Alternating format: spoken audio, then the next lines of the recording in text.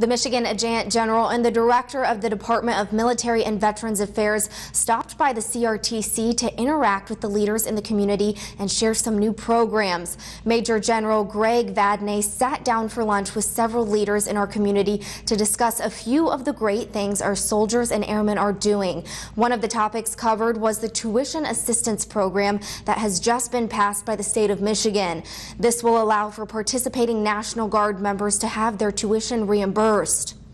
Just shows the commitment back from the citizens of the state of Michigan to their soldiers and their airmen who are out there serving them each and every day. And it provides a wonderful incentive for us to be able to recruit uh, and retain uh, the best and brightest in our ranks.